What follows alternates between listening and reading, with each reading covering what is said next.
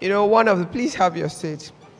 One of the things you need to know about being all that God has called you to is don't get carried away with moments like that.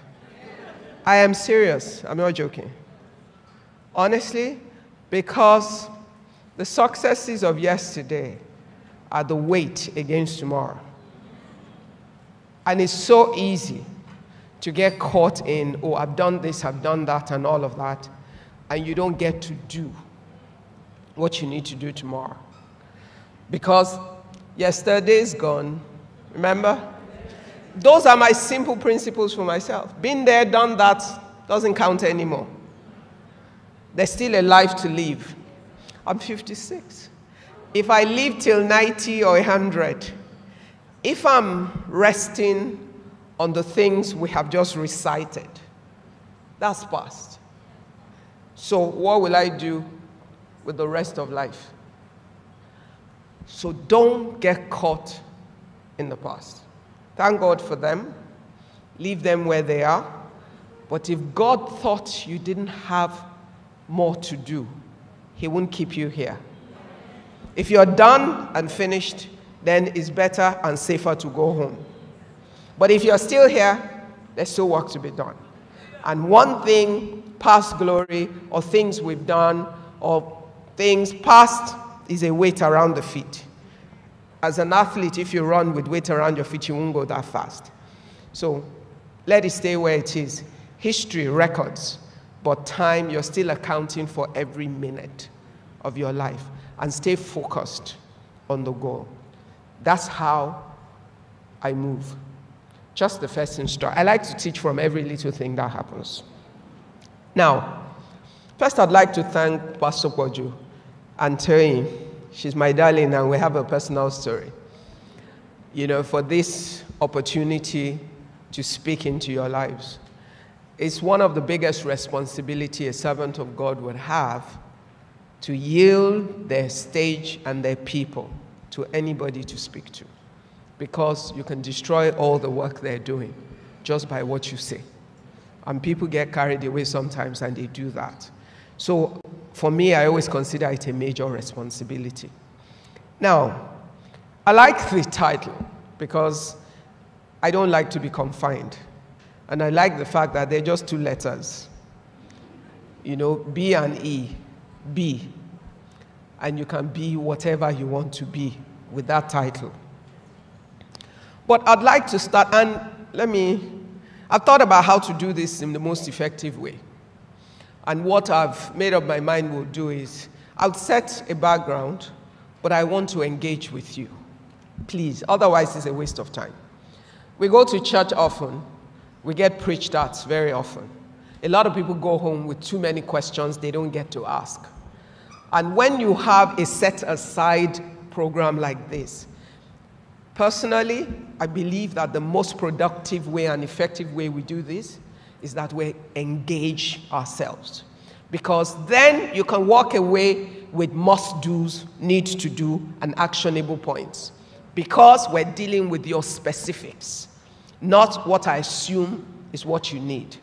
And of course, I would Go very close to what you need because the Bible says, as many as are led by the Spirit of God are the sons of God. So I will be led by the Spirit of God in the things that I will say. But I also want to be able to engage you. In my ministry, in business, I have realized it's always very impactful to engage. So if you allow me, that's how I will work. But I'll start with an intro and then we'll run from what's real to you. Now, what does it mean for you to be? To be what? What do you want to be? To be your idea of who you are? Or to be all that your Creator has made you to be? Because there's a master plan for every life. And that master plan is known and fully understood by your Creator. My biggest ambition in life is to die empty, totally empty that no talents, no giftings, no opportunities, nothing that I was born to do, that I have the capacity to do, that I do not do. I've already written down what will be written on my tombstone. Here lies an empty vessel, totally devoid of anything that I was given to use on this side of God's creation that she didn't. So when I die, I want to know that I finished the job.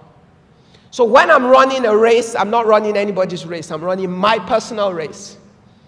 And I'm running that race with only one teacher and one guide. His name is Jehovah. I'm accountable to only one person, and He's my God. I measure everything that I do by what I perceive is the call of God on my life and the things that are important to Him. And if you search your scriptures enough, you will understand what is important to God. Your ways, your character, the way you deal with other people, your ability to take His biggest assignment, which is the gospel, to the ends of the earth and to the creations of His hands. Your ability to engage and influence people for the purpose of God and the good of humanity. Ultimately, everything that we do will fall into that. Every single thing. And the question you must ask yourself is what is my God ordained purpose? Now, will you fully comprehend it? No. Will you have a sense of where God has called you to? Yes. And you start sensing it from early on in your life, but you will never fully know it until the day you're about to die.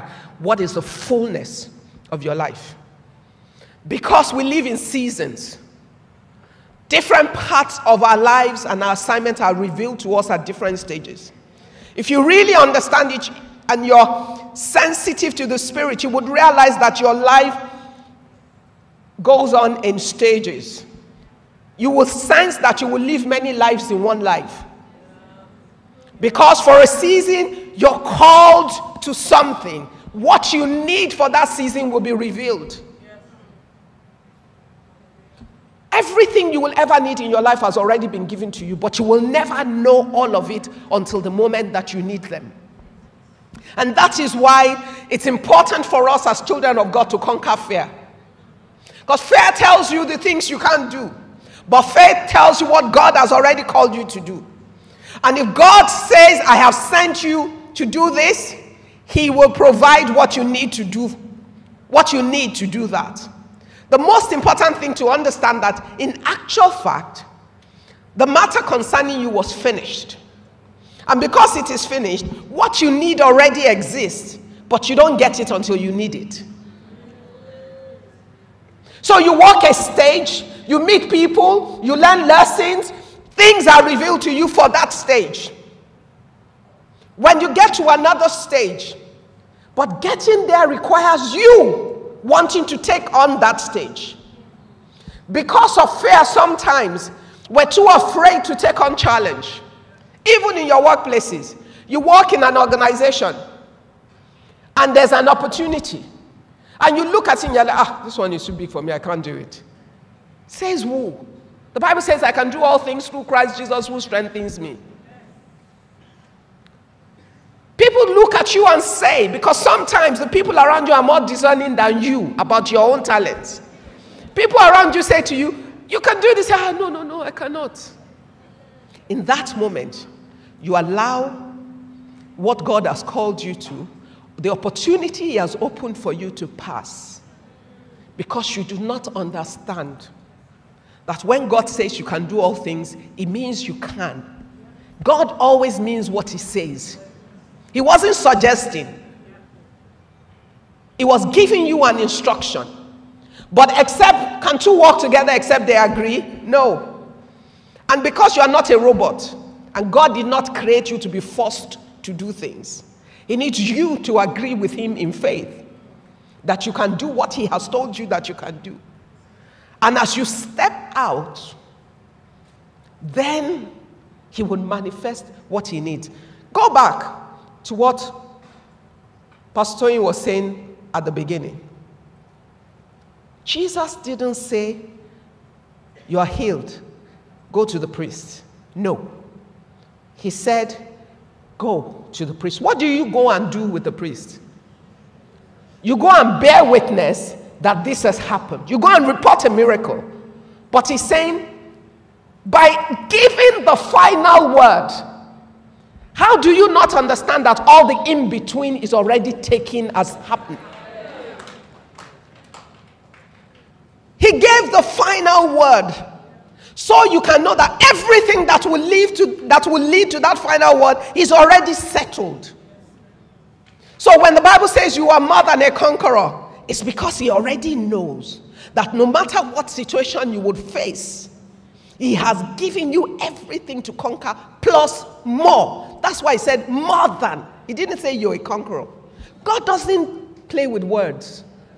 He's not careless with words. And you know, I have a Muslim background. So I didn't become a Christian until my 20s. And I take the word of God literally. So some of you are so used to your Christianity because you were born and bred in it. So it, it maybe it doesn't hold as much value. But I've seen two sides of life. And I know that this God means what he says. And I have seen his word come true. And I've learned to follow him. Will I always understand what he's saying? No. So, in trying to figure what the Lord has called you to, you will not always understand. But you must have the courage to follow him. You must have the courage to take the steps, take the action. I'd rather take the action and fail than not act at all. Because, you know, there's the portion of the Bible in Hebrew where it talks about them. They believed until the end. They did not receive what they believed for. But it was recorded for them as what? They got the reward of believing, though they didn't receive that which they believed for.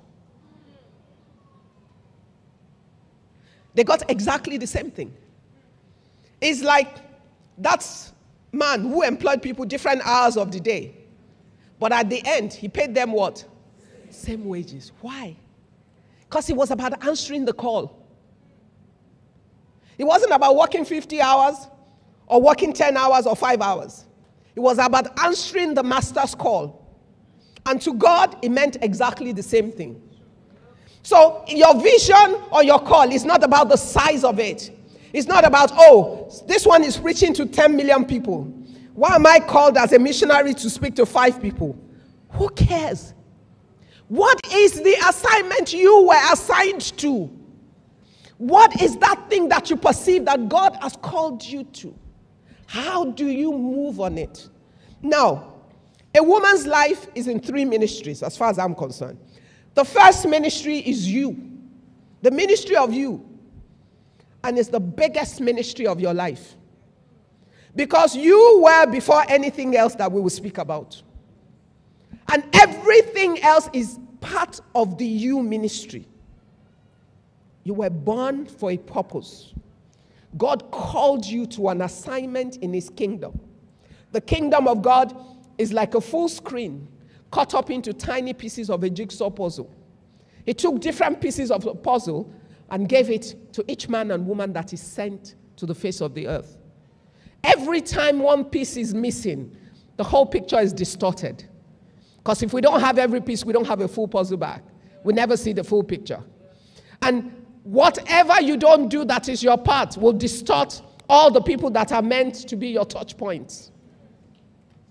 So it's not just about you.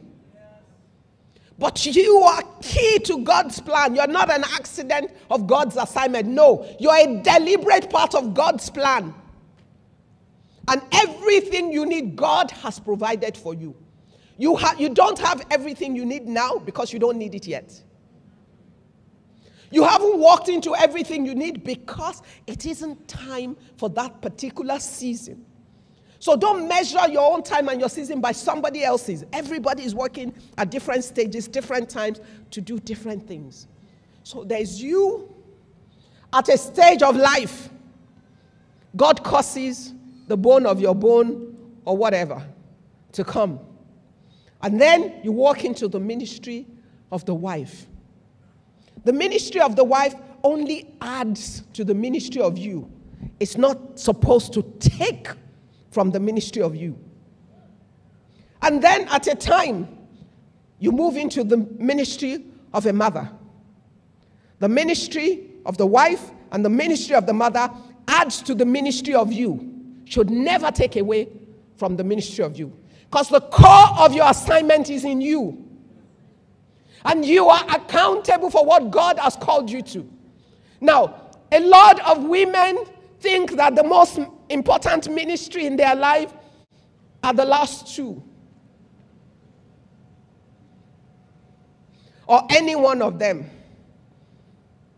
And the one they give up the most and very quickly is the ministry of you. Everything was part of you. God ordained an agenda for your life. Your husband's part and your children's part. That's part of it. But you're accountable for you. And that you includes the other two. And God doesn't set you up to fail. He never gives you a part and gives you the other part that will make you fail. You are accountable for the whole. And you work out your own salvation. How you make it work. How you bring it all together. How many single women are in the house? Good, there are enough of you for me to spend a few minutes on it. You know, every young girl has a dream, has a sense of this and that and all of that. But we don't spend enough time to teach people about the total picture of their lives and about those other stages. And so girls get to life and think that, oh, everybody says if you don't get married, something's wrong with you. There's nothing wrong with you. When is your time? When is your time to be married. If you're working with the purpose of God for your life, God has ordained who He has prepared to qualify, to support you, to be you, but in His role as your husband. And, but we are responsible for the physical decisions. And a lot of times, because we don't have understanding, we allow other considerations to guide our decision. And therefore, we walk away from the purpose of God and we make mistakes that cost us. You're not just meant to marry, you're meant to follow God to find the man that has been assigned to you to help you to fulfill the call of God on your life. Your husband is meant to be a nurturer and a support in your life. He's meant to be an encourager and a builder. A man that has the capacity to contain everything that God has called you to. Not the man that you need to bury who God has called you to be in order to marry him. There's a mistake there. I know that every girl wants to wear fancy dress. Buy a wedding dress and practice. I don't joke with these things. I'm not joking at all. Because in life, there are many women that have married, that are widows, and they're still living. There are many women that did not marry. Mother Teresa didn't marry. When you get to heaven, they don't ask about your husband and your children.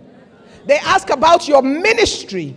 And if you're married and you have children, it's how your ministry affected your husband and your children you will account for. But it's about how you have lived the purpose of God as He has assigned it to you. Your husband is meant to be an enhancer of that. Your children are meant to be a fruit of the ministry of God in your life. The core assignment of God for you as a woman is you. And everything else is meant to help to fulfill that. So if you're single, please, I beg you on my knees, don't marry a fool. Don't marry a guy because he has money, he's handsome, he's tall, he's this. Haven't you seen tall men because short as they get fat? I'm not joking. Haven't you seen the coolest guy before? He had a lot of hair. Soon enough, he's what? He's bald. You feed him well enough, his tummy goes out. So, so that tells you it's not about the physical man. It's about the content of the man, the character and the strength of that man, the fear of God in that man, his ability to help you be what God has called you to be, his ability to hear God and yield to God in nurturing you to be the best of yourself. And sometimes what you see now is not what the future holds. So some guys look like they're rich now. Five years down the line, 10 years down the line, what do you know? Some guys look that they have nothing now, or they're simple, they're about to just offer you a simple life, and everybody tells you you're insane. And that's the one that turns out great. God has a lot of surprises along the path of our life. And because we can't see that much, we need to walk closely with God through the ministries of our life. What has God called you to be? What must you do? How have you empowered and equipped yourself?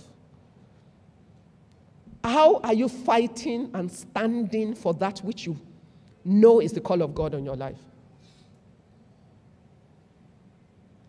I didn't know too much, even as a young Muslim girl. But I knew I wanted to make something of my life. I knew certain things that I sensed. And at the right time, God made sure that He took me over so that I would be able to live the life He had prepared for me. But even before then, I had some small, small sense that I applied.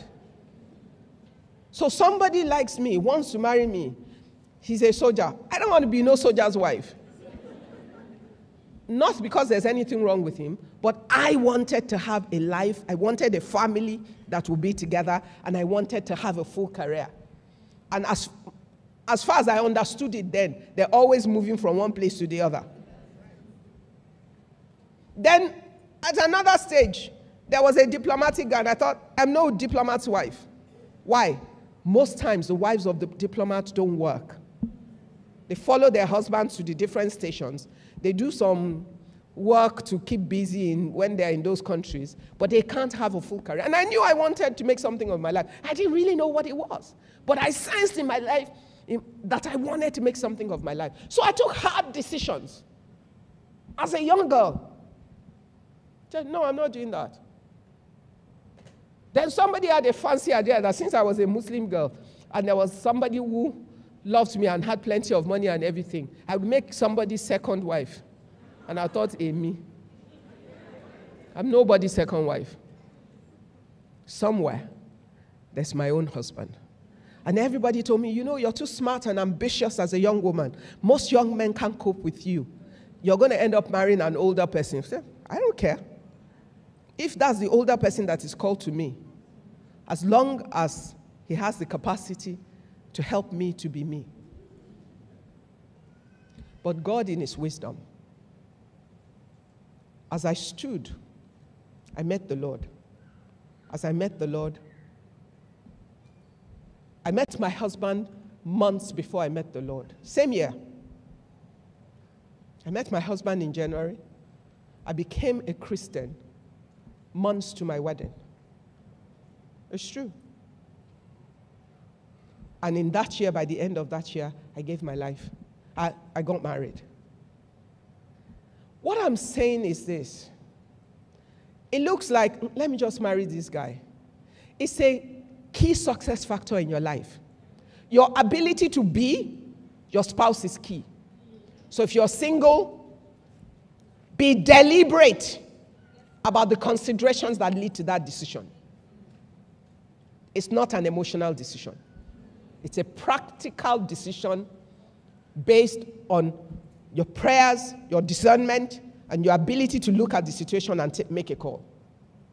Women love men very easily. A man that is good to you every day, you love him. And the one you think you're madly in love with that beats you up every day, you so hate him. Choose your path, invest in yourself. People ask me every day, How do you do so many things at the same time? I am focused on what I want to do. Whatever I sense this is where the Lord wants me to go, I will fight for it in every way. I also have no silly ideas about being invisible. I don't know what a superwoman is. I just know a woman who loves God and trusts God and who is willing to follow God every step of the way. I have no problem whatsoever delegating things to people. I don't play to my weakness, I play to my strength. If somebody is better at something than me, I don't do it. I give it to somebody else, that person, to do. I focus on my own strength and enjoy the support of the people who are better at the things I'm not good at. Why? It's a waste of time for me trying to catch up when somebody already can do it better than me. I will play to my own strength, and everybody else has to be trying to catch up with me. People, the other part of it is people. People in your life will make a difference. People, people, people, people, people. Be sure as a woman of your network. Let your support base be critical to where you're going. Find the right voices around you that will encourage you and lead you and support you in line with where you want to go. I remember the first day I went, I was invited to speak to the group chairman of the First Bank Group then. I didn't even know what it was for. And when he spoke to me about chairing an insurance company, they were just starting. I said, Me, insurance. I don't know anything about insurance.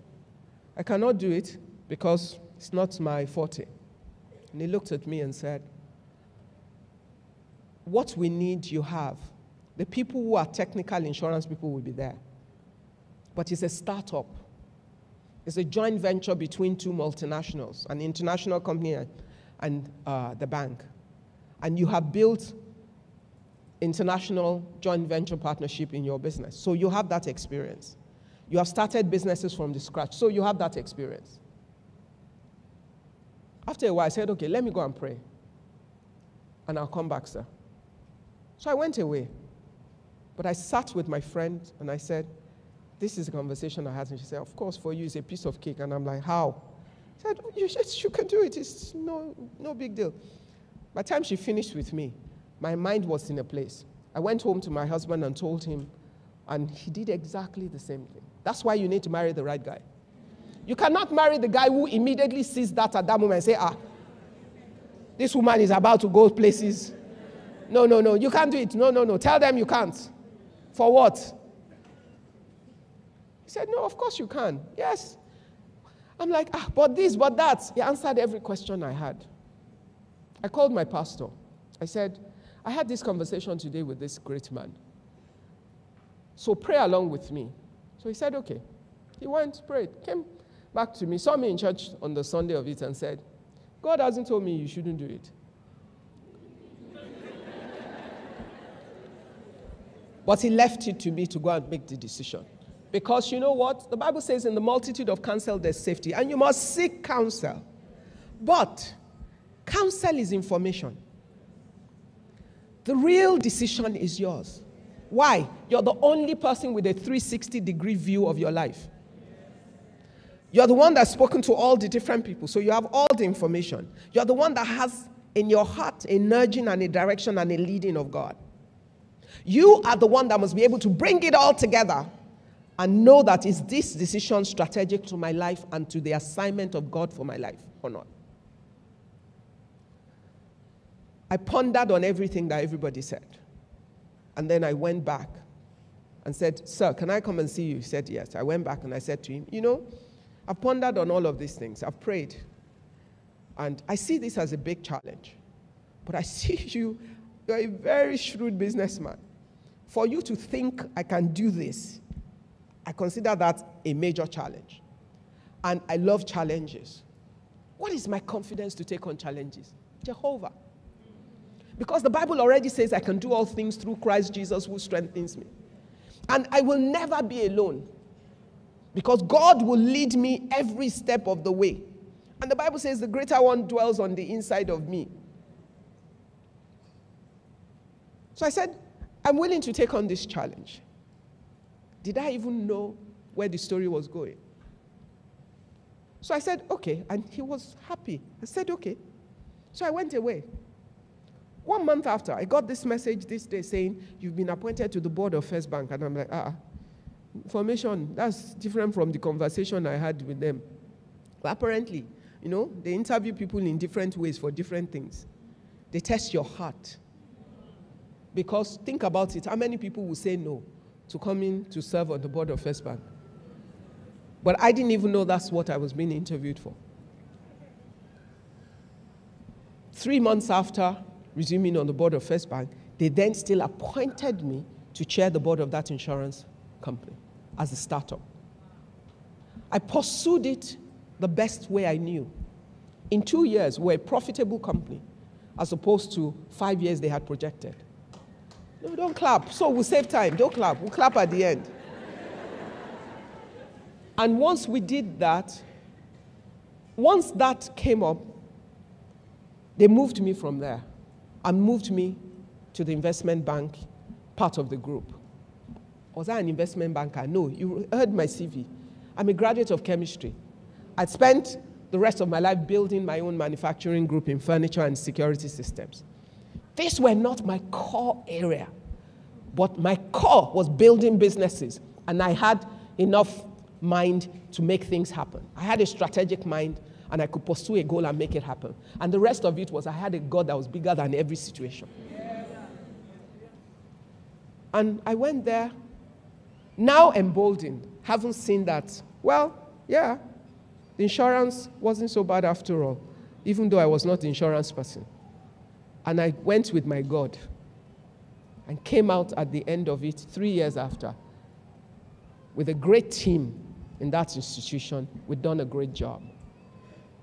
And I was just finishing on that, still serving on the board of the bank when they did the unthinkable. Yeah. And then appointed me to be chair of their largest asset, which is the commercial banking group. What is the point there? What you need for tomorrow, why should God give you today? The only thing you need to have today is that you can trust Him to take you through, is that you are willing to do, that you prepare yourself, that you educate and equip yourself, that you empower yourself, that you seek to fulfill that goal, that you build a system around yourself that makes it possible for you. Does that mean there will be no troubles? Plenty troubles. But that when every trouble comes, you would remember that the Bible already says in the world you will see troubles. But know ye that Jesus overcame for you in advance, and that the wisdom of God will lead you through everything day by day. This is the risk of me starting. Okay, let me just stop and let's come from your view. Who has the mic? Okay. Who is going to be the first person that would ask the first question? I like that hand at the back. Thank you. Bold and confident. Is there a mic to give her there? She's right at the back. They're writing. Speak. Okay. Okay. I hear you have question cards, so if you don't want to speak, you can write and please pass forward so we can move as quickly as we can. Yes. Good morning, everyone. Morning, Good morning, ladies. ma. Uh, my name is Shiba, and my question is I want to grow a career, but in a case where um, you're working in a startup company and um, you don't have somebody to look up to in um, guiding you, how do you know that you are doing the right thing in what you are doing? Okay. In the startup where you are working, are they still happy with you? Yes, they are. Then you are doing the right thing. You know, and who do you look up to? The, first and foremost, as long as there's a boss ahead of you at work related to that work, there's someone to look up to around you. But the world is so small now. The problem of who to look up to is not a problem anymore. Look around you and see what, who is it that speaks to your aspirations and take learnings from them. And I'll tell you, there isn't, there can never be one person that speaks to your aspiration. So don't want to live somebody else's life. The one thing you must never forget is how to live your own life. And what you do is glean from other people but don't ever give up your own life to live somebody else's life. So look around you for people that are doing things that relate to where you want to go or where you sense you want to go. And don't be afraid to change direction because sometimes what you perceive or what you see is not exactly right, but you need a transit point. And the Lord will take you through the transit point in order to discover the actual point, which is why you need to be prayerful. All right? Thank you. Look around you, you'll find people to look up to. Yes, next question. Okay. Morning. My name is Evan. Morning. Good morning, Ma. Um, I wanted to ask this question because you've got several companies. How did you go about sort of, I mean, looking back now, do you have a blueprint for how you kind of churned out the companies one after the other without sort of losing focus and Mm-hmm. you know, being I had, successful at I, that? I I had no, no blueprint. Look, when you start um, your first business, your responsibility is to make a success of that first business, to use it to test your talents, to use it to prove your skills, to prove to the bank, to prove to the community that you can stay with something and bring it to success. Now, one of the things that you benefit from staying put in an industry is that as you do it, all the opportunities within that market and that industry will begin to show up. Now, you prayerfully identify which of them are yours. And you will see some that are natural extensions of your business. And you can readily move into them. But with the track record of staying long enough to build something in the first one, it's then easier for you to get support. Banks have your account from your first business. They can see that you're a disciplined, responsible person that is committed. They can see that you would fight with integrity to make something of what you're doing. Therefore, they're willing to give you money for the second one. If it's not a bank, people can see, and therefore they're willing to invest with you in the other project. So, learnings you've had from the first business will help you with the next one. And that's really how, it's why I always say the Bible isn't wrong when it says don't despise the days of humble beginnings. And it's also when people talk about, oh, multiple streams of income, don't be confused. They, they didn't mean multiple streams of income from day one of your life. You have to prove yourself, prove your talent, learn stuff from your first experiment. Make it work. And sometimes you don't need more than the one. It depends on your own call. That's why I said don't live anybody else's life. So for each of the businesses, some of them came just out of situations and out of circumstances. And you must know how to respond and why. Some are just accidental. My security door business, I did not sit for one second to think about getting into security door business. True. With the furniture, I was servicing a lot of banks. One day I got a call. Tayo Aderinokun, God bless his soul, told someone to call me from GT and said, uh, find, I hear you're going to Italy. And they sent a picture of those bulletproof doors you see at the entrance of banks. Said, can you find this for us? So I took it. I was doing a favor to my friend, my brother, and a client. I went to Italy. I asked my business associates, where did you find this thing? They made some calls and said to me, talk to this company. I spoke to that company, and they sent me all the information. And then called to say, oh, we don't do business in Africa. We want to be. I said, mm, I'm not interested. I know my business. Because sometimes you'll be blind, which is why you need God. I know what I'm focused on, but I would, this somebody wants this, I will take it to them for you. I brought it back, gave all the information, including, no, including price. No, they didn't give me price then to GT. They asked for the price. I asked them for the price. I gave it to them. And then they looked at it and said, okay, we want to buy. So I called those people. These guys want to buy. They said, we can't sell to them. I'm like, ah, you have a product, you have a buyer. What's your problem? they don't sell to end users. As a model, they will only sell through a, a dealership. Why? The maintenance for them is more important than the sale. So I said, eh, they have maintenance people that work in their bank. Train them. They said, no. What if 10 banks want to buy it? Will we train all their people? That that's not how it's done. So I said, well, you have a problem. I didn't think it was mine. I'm serious. Then what happened? Within that period, as we're having all this conversation, there was a multiple robbery in Egbeda somewhere. About four banks in one day, they killed a lot of people and everything. And I, was, I went to see some people I called my Ikeja parents on that day, and they were talking about the robbery. And I'm like, hey, and there's something in my car that can solve the problem. And the daddy in the house said I should go and bring the thing. I brought it. He looked at it, he called his wife. Haven't I been telling you Nigerian banks need this thing? It was like a light bulb moment. Now, the one thing about me, my pastor calls me Oliver Twist. Once I catch a revelation, I run. So the next day, I just got on the plane and went straight to that factory in Italy. Went to see the operation and everything and all of that, and I signed West African dealership with them and came back. Then I went back to GT and said, okay, now you can buy it.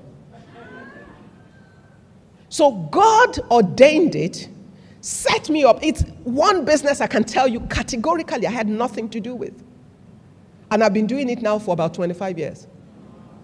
But I had nothing to do with it. Now, I actually own the factory that produces it in Italy. Because the guys that were producing for me went bankrupt. And I had customers that I was committed to, maintenance and all of that. And the only thing of integrity I could do was to ensure I can continue to keep my word to them. So I went to them, can I buy the rights and take the key stuff that I need? And that's what I did. So some of it will be accidental.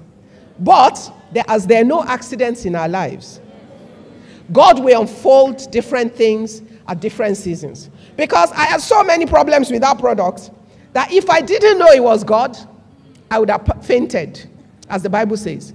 I would be on my knees asking God, God, please let the door in this place be working. Let the one you know in Onitsha be working. Let, and I'll say, God, but I didn't look for this, so you gave it to me. So you've got to make this work. And that's how it worked. Next question. No, no. Um, I have a number of questions here. I will try to distill some of it. One, someone is asking, I'm dating a guy that you said. You have to speak out. So, can you hear me now? Yes. Okay. So, the question is you said you need to marry a man who would support you um, towards your No, life I said a responsible man. I didn't say a man who will support you. You see, because a responsible man is different from a man who will support you. A man who will support you means your own hands are down, and the man is your provider. God is your provider. But a responsible man is the man who would use his resources to the best of his ability to do all he can do in his household. Now, that does not exclude that the woman is a major contributor to that. And in some seasons and some times, the woman will be a bigger contributor. But you, must understand the ways of God. God says the two is one. What does that mean? God doesn't see a man and a woman, He sees a household. Once you are married, God sees one. He will provide for the one through either part of it. If there's mutual love and respect between the two of you, you will use your resources to enhance your household, and it's nobody's business. So you, you look, there are a lot of traditional, cultural mindsets that are not based on the Bible. And they actually have destroyed the way a lot of women fulfill the purpose of God in their lives. It's also what leads to all this silly adage my money is my money, my husband's money is our money. And then you waste your own money, never build anything tangible out of it, and something happens to the man and you still cannot help your family. There's a need to understand the plan of God. If all of you like the Proverbs 31 woman, did they tell you at any point that she was lazy? Did they tell you she did, because of what she did, her husband was honored in the gate? She did everything. But I'm not saying, because I know some women hate the Proverbs 31 woman. But frankly, you are accountable for your life.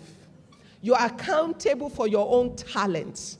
You're accountable for maximizing your ability. Why do you want to be a millionaire if God ordained you to be a billionaire just because you want the man to be the one that pays your bills?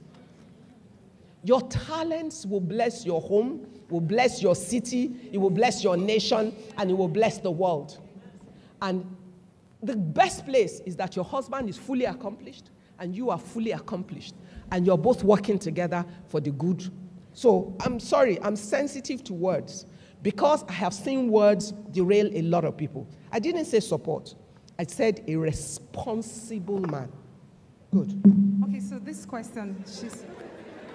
Okay, so she says, Can I marry someone I'm not attracted to, though he's a good person and ready to do everything right with me and for me? You know, this is, you see why I love question and answer? Because someone will interpret my saying it's not an emotional decision to you should go and marry someone you are not attracted to. How are you going to marry someone you are not attracted to? That in itself is the same as marrying a man because he has money. It's exactly the same. Obviously, there will be some level of attraction to a man. Obviously, if you search your heart well, there will be love in your heart for the man that you marry. Don't worry, me, I'm a tomboy, so these ones are not. There will be love in your heart for the man that you marry. You will know that you have, can two walk together except they agree? You have commonalities. You can converse. Are you going to cover your eyes every time you're in the bedroom? You know, so that's not what I'm talking about. I'm just saying sometimes women know the man that they're attracted to, but they would consider the one that they think is passable but has some other things. And they will go with the money and the looks and the office and the position or family. All of those things. That's all I'm trying to say. Thank you. Okay, ma. Um, this particular one says, How do you recover from multiple failures? How do you build up your confidence again after to go how do you build up your confidence again to go after what you know you should do after you have failed several times? Okay. I love the question. Sit down because that will take me a few minutes. No no. I'll explain to you why this is critical and is important. And the devil is a smart ass. He likes to set the children of god up to think that oh gosh i failed here. I can't do this. In my vocabulary there's nothing called failure how many times shall a child of God fail and yet he will stand again? Multiply it. 70 times. What's that? 490. Anybody that's counted 490 failure? I only use that to just create a shock in that. But the real thing is this the journeys of our life are not the same.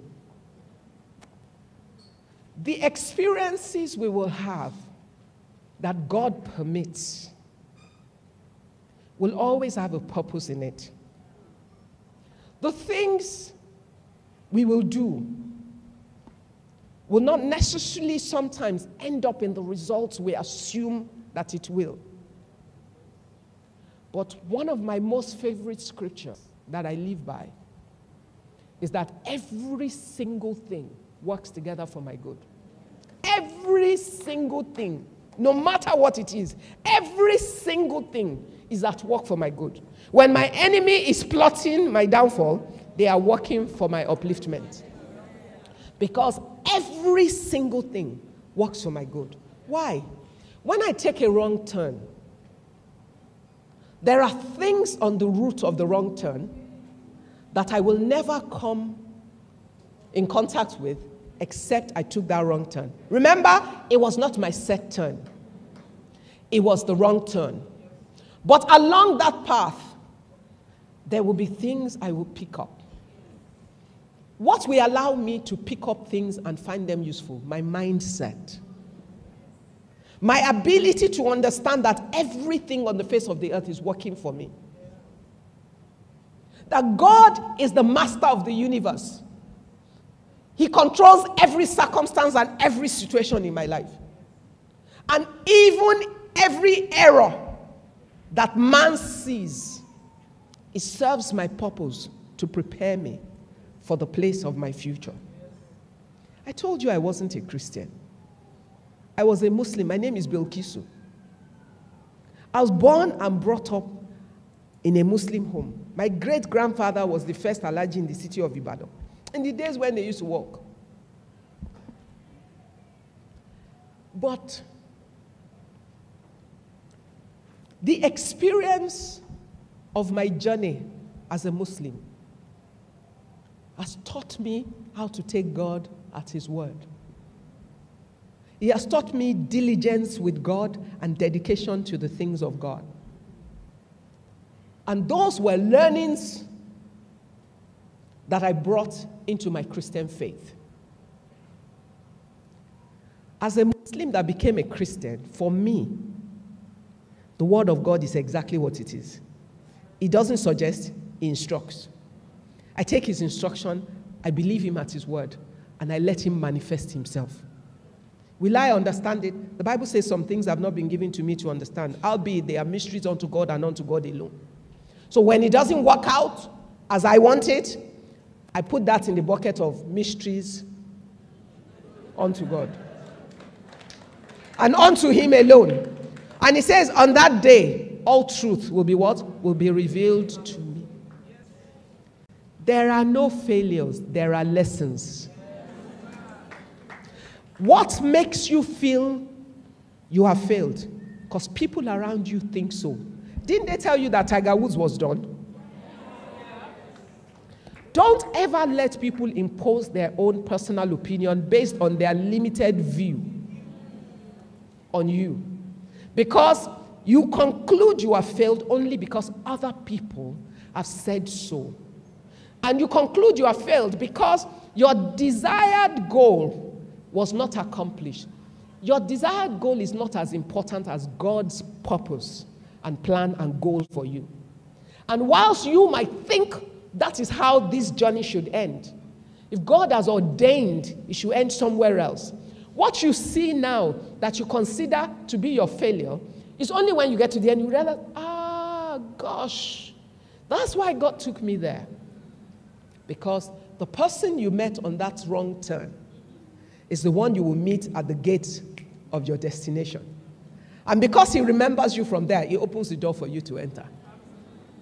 So please, I beg you, don't walk life with a sense of, I have failed, I haven't failed. Let me tell you what life is. The way, see, look at this stage. From this end to that end, consider it your life. Your life as God has ordained it. So, you are walking this journey. You're here. As you can see, or as other people can see, this is not how you should be, by their opinion. Things are not working out for you. This is a failure point. Then you manage to gather yourself together and you move again. You get here. They still think you have failed. Things haven't worked out, and all of that. You get here. It's working out small, but it's not compared to your friends, compared to your mates, compared to your sister, compared to your neighbor, compared to your brother. Hey, and by the time you get here, it looks a little brighter. You say, ah, well, God has tried, but this is not how I planned my life. Then, then you get here, and all of a sudden, there's a light bulb moment, and you're like, oh my God.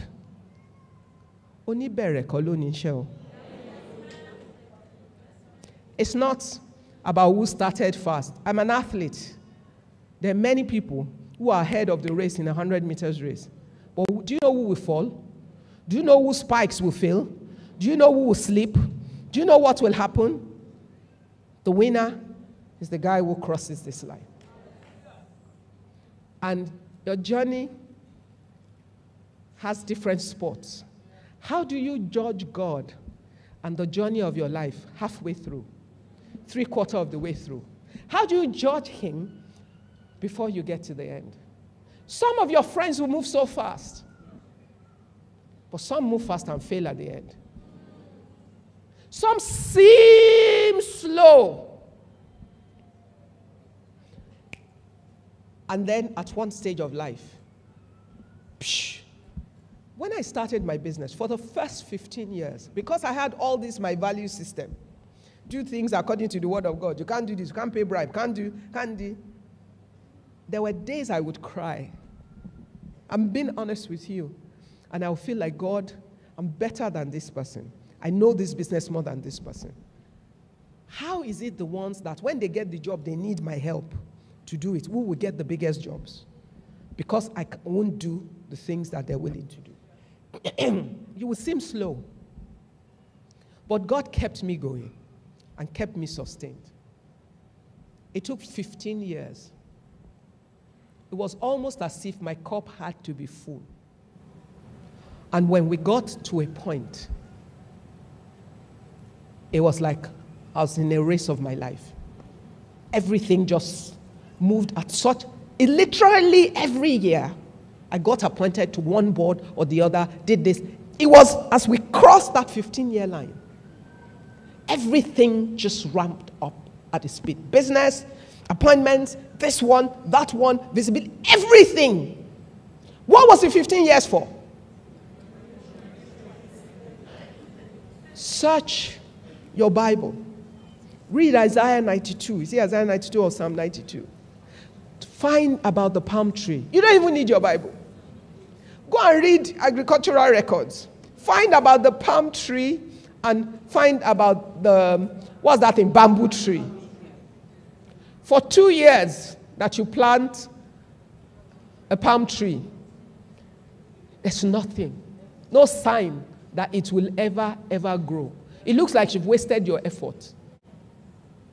And then you see the sprout two years after. And then it starts a little at a time. And it takes so many years. And then it gets. But when the wind and the storm comes, who stands? As compared to what? The grass. That's what the Bible says. The grass grows six months, it's green, luscious, rich. But shortly after, too, it's dried and they set fire to it to burn it off. And the ground upon which it grew will not even remember that it existed. With the bamboo trees, five years before it comes out of the soil. But after five years, even though it's skinny and tall, it grows, psh, and you think, oh, this one, I can knock it over. Try. Because its foundation is invisible to you. The journey that you call your failure is God's preparation of your life for your future. It's building character. The Bible says the trial of our faith, what? Worketh patience in us. It's building character in you. It's teaching you tenacity. It's teaching you perseverance. It's teaching you to face people, to abound and to abase to deal with different situations. Because when you get to the place where the Lord has prepared for you, everything you've picked up in what man has called failure, you will find extremely useful to survive there. Don't let the devil define who you are. But the lessons to learn when you want to do anything, do it well. Seek counsel. Do your research. If it's business, do your SWOT test. Do your due diligence. Gain all the knowledge. Ask all the questions. Do the hard work before you execute. And when you're executing, be sensitive, be flexible, be responsive. Listen to people, listen to counsel. When something isn't working, check what you're missing. Don't be arrogant about what you think you know. And the greatest part of it all birth everything you're doing in prayers and let the Lord lead you and guide you. And ultimately, you will find that your light afflictions are but for a moment. They work out for you an exceeding an eternal weight of glory. Failure is nothing. Trust me. It's not over until it's over. It's the reason a lot of people commit suicide. Because they judge God and their life by an interim stage. And they decide nothing is going to happen. Who knows if they were right at the door of their transformation? So don't ever buy into the failure story. Whatever it is, go back to God and ask Him, This isn't working. Tell me what to do. The Bible says you will hear a voice telling you which way to go, whether to turn to the right or to turn to the left, that you might walk in it. That's how you live your life and you win. And I don't, people say, What's the biggest trouble you've gone through? I never answer those questions. To me, they're silly. Why? I'm still living. Whatever challenges I've seen yesterday, that's nothing. As long as I'm still trying to run the race of my life, the devil will throw some more things in my way. So, how do I know which one? The only thing I need to know is that whenever it comes, I have a bigger God and I'm ready for it. And every knee will bow at the name of Jesus. Yes, ma'am. Thank you very much, ma'am. There's a recurring question, so I'm going to paraphrase it. Okay. And this, so a lot of the women are asking, supposing I'm already in a marriage and I feel it's not working, not working because of what you have said. He's not supporting me, he's not encouraging me, he's not doing anything. Okay, I'm trying, I'm struggling with the words. I know the question, believe Okay, me. I've answered these questions And 1,000. also for work. Uh, So you have a boss who is um, intimidating, oppressing you. How can you achieve? How can you um, achieve the goals you have set? So what do you do? Okay. There are two separate questions, and the approach is totally different. Your husband, you're already married, so I did not give you a license to go and divorce. Now, the wisdom of God answers to every situation. The wisdom of God answers to every situation. And your situations are not the same. Every woman's situation is different. So don't judge your own marriage by another person's. Now, one thing I always say to women you need to think of how you will play to win. This is my home. This is my husband. This is the nature of the man I have married. That is my reality and the context of my life. In that reality and the context of my life, weighed with where I want to go. What is the strategy? What are the things I'm doing now I need to change? What is the approach I need to apply in order to be able to achieve my goal? Some will tell you, why do you need to kneel down for your husband? Why do you need to do say? See, one woman and what? And her husband. You are the one in your home. You are the one with your vision. You are the one with your ambition. Whatever it is, wherever it is that you want to go, every woman must work out how to speak to her husband's side that listens, how to speak to her husband's heart in a way that he responds. And for each man, it is different. Your responsibility, knowing that you want to win with your goals, is you work out your own personal strategy that gets you. Not what your friend is doing in her home, not what your sister is doing in her home, not what your sister in law is doing in her home. I understand exactly what I'm saying. There's a course that I run that is called 360 Life. It was because this is a question I answer one million times that I decided to find time to do this. And I've done two sessions. I only take 30 people in that class. I think they register online. There's an online version of the course that you can watch in your privacy by yourself. And in that course, I spent two full days with the women in the class. We speak a lot of confidential things, but we break it down. The only women I asked to register are women who are ambitious, who know where they're going, who are determined to get to the top of it, and in doing that, they want to have their home and raise their children. They want to fulfill the purpose of their life. That's why it's called the 360 degree life. Hey, see, this is my administrator of the program. What do you want to say? Okay, she wants to give you the website. This guy is too sharp. okay. It's called? It's called Trainee. Www.trainee.com. The name of the course is the 360 Life with Ibukun Awosika. It's 360 degree life with Ibukun Awosika. I always forget the details. But it's, it's a difficult, some of what you, you need for this question is a difficult thing in the multitude. There are what I call women wisdom. Let's not call it women's secrets. Women wisdom that helps to get there. However, it is the only thing I can tell you, it is not impossible. Whoever you have married, God is God of the universe. One thing I know everybody has a boss. Whoever that man is, however you see him, whoever you think he is, everybody has a boss. And you must learn to go back to his master, to send his master to him, to give you the wisdom and the understanding to achieve the goal that his master has placed on your life. But you must first understand that is every woman and her own husband. It's not a general journey. It's the two of you, and you're a unique unit.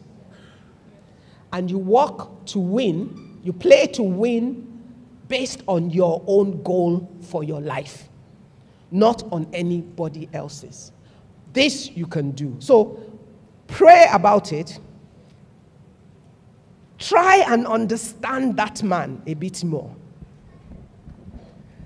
Face what your reality is, and based on what that reality is, work out your own strategy to get it to work. And your eyes are blinded to the left and to the right. And focus on what you want to achieve in your home, and you will. I can tell you, you will. I've walked through this with many women, and I've seen people who are sure they're on their way out, fully established back in their home. There's certain fundamental things about men. Men love to be honored, to be respected, to be this, okay. Women love this, this, this. Learn the things you need to learn and play with it to get what you need to get. Next question. So it's a more general question, which is how do I balance being a mother, a wife, and a career woman? Okay. Mother, wife, career woman. First, like I said at the beginning, there are no super women. It's a fallacy. Get all the help that you need and organize yourself for the stage of life that you're in. Sometimes you would take certain kinds of jobs over a stage in order to finish some things. But whilst you're doing that, you're equipping yourself, you're educating yourself, you're retooling yourself, and you're organizing yourself. And once that part is done, you continue with your career. How can your home work? In Nigeria of today, what is your responsibility? To make sure your family is fed. Who cares who cooks the food? That's one thing that can happen. And if your husband will only eat your own cooking, no problem. Maybe you have weekends. Cook the food, pack it. If he only wants to eat fresh food every day, he should have married a teacher. Not you.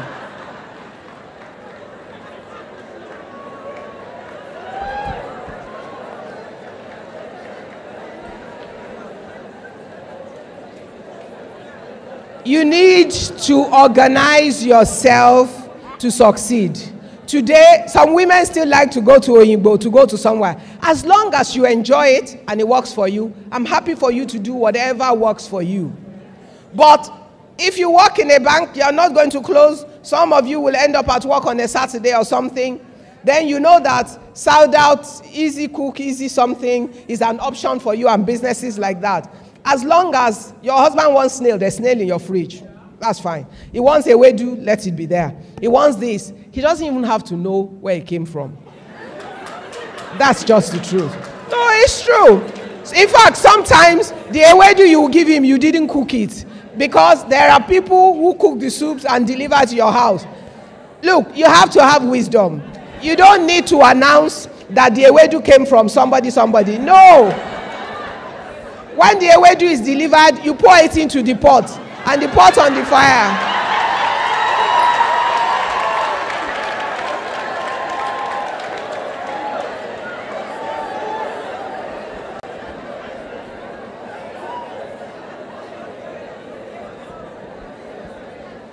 women must know how to train their homes to work for them, including your husbands. Because sometimes it's the women that are overly indulgent. You must learn to train your husband. What does he want? Attention. So, and he wants to be fed. Make sure the food is there. Pay him attention. Even if you are not on your way home and there's somebody to give him the food at home, you are calling, hey, I'm on my way. Oh, have you eaten? Have you not eaten? Is the food there? Da da da da da. Cha, work out your own strategy. So that one, how do you make it work? Children, ew, oh, find the right schools for your children. Find, you know, I have three sons, and I've been busy all my life. And my children are two generations. My first is 27, my second is 24, my baby is 17. It's true. And when my baby was in, doesn't like to be called baby. He will answer you and say, I'm my mommy's baby, but I'm not a baby. When he was in nursery school at Corona VI, look, my son requires that I bathe him in the morning, I dress him up, and sit down with him to have breakfast and pray with him, and I must see him off to the car and wave bye bye as he's going. No problem. It's early in the morning, I'm still at home. So we'll do all that. But in the afternoon, I can never be at his school to pick him up because God knows where I would be in town, in the factory, or something. So we had a plan in my own house. I arrange him and all of that. It's my driver that takes him to school in the morning, or sometimes my husband's driver. But in the afternoon, it's my husband's driver that picks him up because my husband is more stable. He sits in the office more than I do because I have multiple locations. So sometimes it's my husband that will go with the driver because he's coming from a meeting or something to pick up his son from school. So his teacher in nursery school will see his father more than me. And then one day my husband came home and said, hmm, what? And I'm like, eh, what happened? He said, ah, that the teacher said to him that, oh, we never even see Olamikosi's mommy at all. I said, eh, okay. I went straight to the school the next day. No, no. You must fight your own battles. I went straight to the school the next day. I went to the headmistress and said, You train your teachers to mind their business and never get involved in other people's business. And then I told her exactly what happened. And she was so apologetic, and that teacher eventually got moved. Now, it wasn't about wanting a teacher to lose a, a job, it was about wanting a system to work right. Because you, you're not in my home. you don't know that the things I do in the morning, and you don't know that I cannot be there in the afternoon because my husband and I have worked it out. It's co parenting. Husband and wife have children. It's not wife has children and husband doesn't have children. So you must learn how to stand your ground and not allow other people. Now, should I now feel guilty and start trying to run to the school every afternoon? No. All the other parents in the class, some of them is their first child. I've done that. So they have time to come to the class every time, come and see teacher, come and do the. I already did that. I have two, there's 10 years between my first and my youngest. So I already know how to make it work without necessarily being there. But I can, I'm there when it's parents' meeting, when it's prize giving day, when it's those things. And I've trained three normal children. And my kids have done well. My first Uh, went to school, went to King's College London. My second went to school, went to University of Edinburgh. My baby is in A levels now, and he will do well.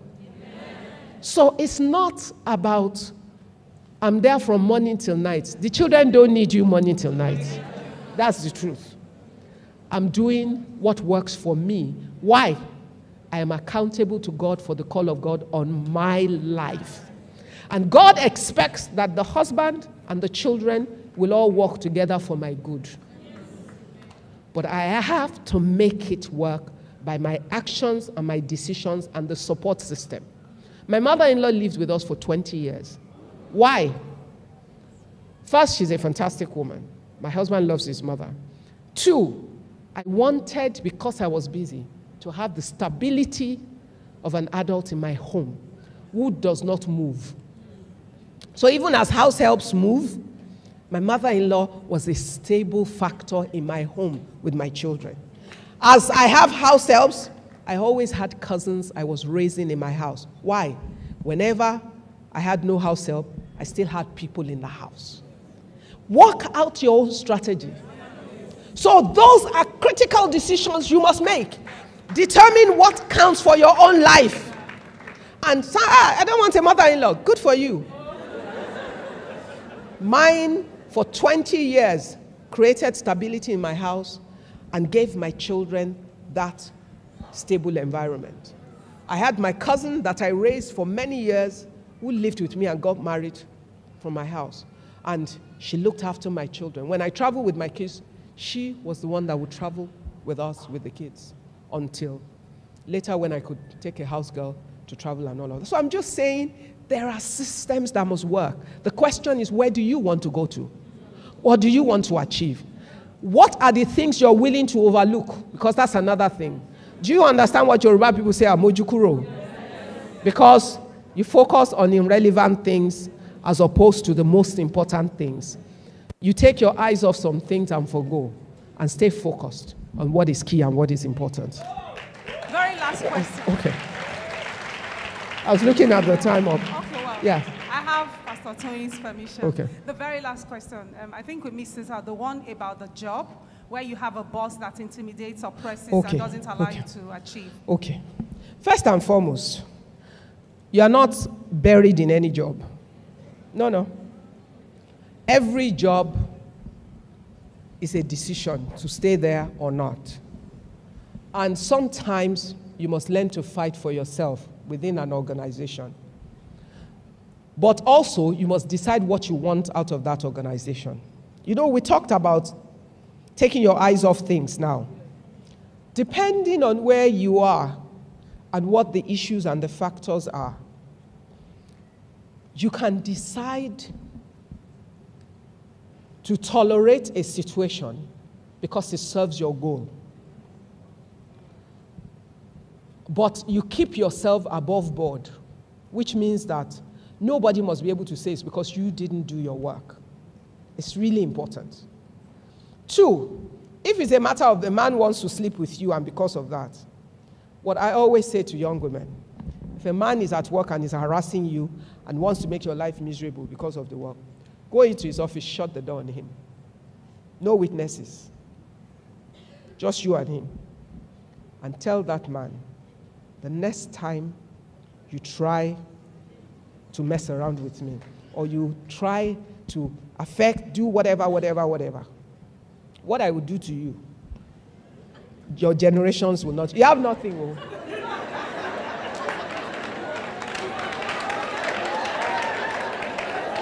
You just have Jesus. You don't have juju, you don't have any you have Jesus. But you shut the door, you look him in the eyes. Let me tell you, most women don't know how to look a man straight in the eyes. Most women don't. If you have daughters in this house today, please, from when they're kids, teach them to look at their brothers and their father in the eye. It will save them from a life of agony. A lot of women do not know how to look a man straight in the eyes.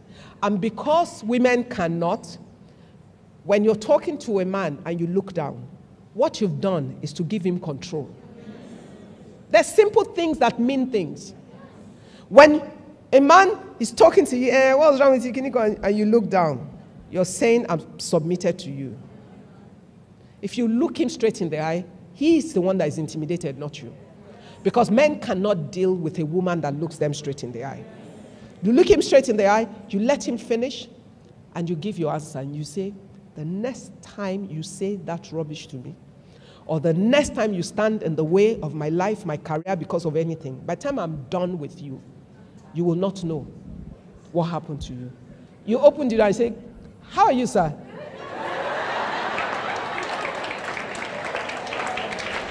And every time you see him thereafter, morning, sir, good afternoon, sir, nobody, everybody else must see you respectful, respecting him, submitted to authority, and all of that. But that man must know that you're a lion that is playing the game of a lamb. And the day you want to bite, you will bite. So make sure you're on top of your game. Know your onions. Prepare yourself for the future that you want. Don't allow anybody to have a reason. Don't play the girl card at work. It's nonsense. Do your work. Be good at your work. Gain the talents and the skills you need. Take challenges. Let other people be able to stand up and say, eh? No, if it's Funke, no, no, no, no, no. I don't agree. This is who she is. She does this, she does that, and all of that. But when it comes to that one person, deal with it and stand. And sometimes you need to move. And when you need to, start planning your career exit. And you make the next move. The environment must support you. If it no longer can support you, and you have no strategy to survive in that place well, find the next place that would help you. Jobs, there are no jobs. God will make a way. Thank you. God bless you.